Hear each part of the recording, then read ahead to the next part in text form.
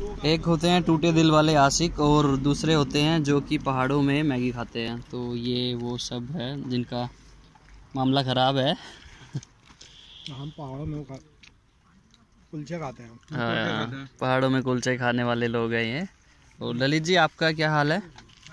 दिल विल टूटा है कभी? नहीं अभी तक अभी तक जुड़ा ही नहीं है ओ माय गॉड सो अभी तक मिला ही नहीं है। ओके ओके नहीं नहीं ट्राई तो हर कोई करता ही है लेकिन गाइस फोकस ऑन मैगी ये एक बहुत अच्छा मैगी पॉइंट है। अम, कांगड़ा से जब टनल उतर के क्रॉस करके चंडीगढ़ वाली साइड हम जब आते हैं तो ये एक बढ़िया मैगी पॉइंट है। एंड ये हमारे ड्राइवर भैया। And this is the view चाय अभी आने वाली है। तो चाय के साथ मैगी का एक अलग ही स्वाद बनेगा तो ट्राई करते हैं, देखते हैं कैसी यहाँ पे चाय हम पियेंगे, किस तरह का फ्लेवर अंकल डालेंगे। हर छोटी छोटी टी स्टॉल्स की यही खासियत है कि उनका एक स्पेसिफिक अलग ही मज़ा आता है।